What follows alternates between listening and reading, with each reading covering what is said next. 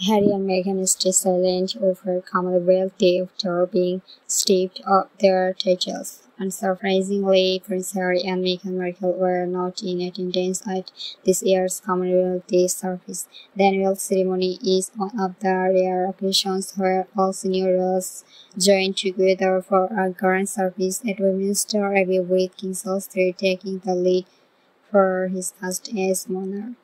Somewhat ironically, the theme for 2023 is forging a sustainable and peaceful common fortune which comes at a time of great upheaval in the royal family.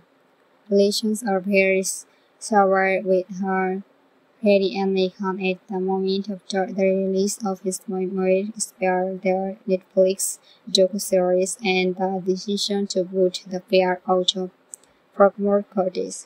The Duke and Duchess of Sussex were once destined to be the stars of the Commonwealth, but they lost their titles and have made no reference to Monday's service.